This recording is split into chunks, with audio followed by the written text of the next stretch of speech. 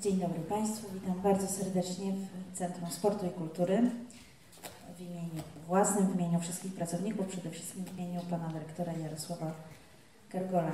I tak na początek chciałam Państwu powiedzieć może coś nietypowego, ale bardzo miło Państwa widzieć.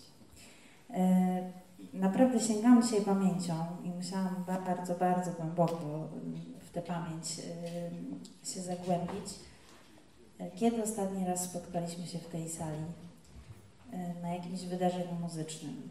Czasy zrobiły się dziwne, czasy zrobiły się trudne. Mam nadzieję, że Państwo tęsknicie równie bardzo za takimi wydarzeniami tutaj w sali widowiskowej, yy, równie mocno jak my.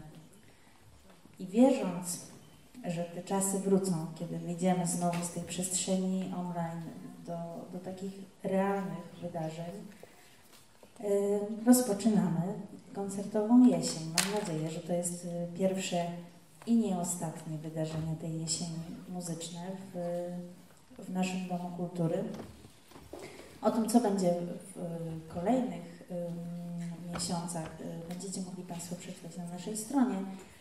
Natomiast dzisiaj pierwsze i takie wyjątkowe wydarzenie. Zespół, którego absolutnie nikomu nie trzeba Państwu przedstawiać bo to jest taka oczywista oczywistość na wszystkich wydarzeniach religijnych, na wszystkich wydarzeniach patriotycznych, na wszystkich świętach miasta.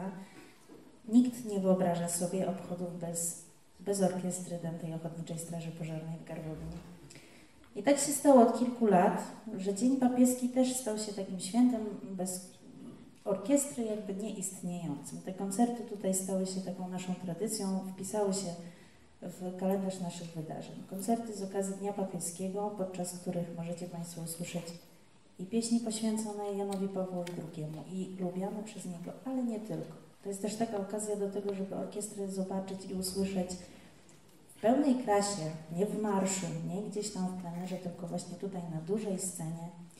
Państwo wygodnie sobie siedzicie, wykonawcy też sobie wygodnie siedzą w takim troszeczkę innym klimacie.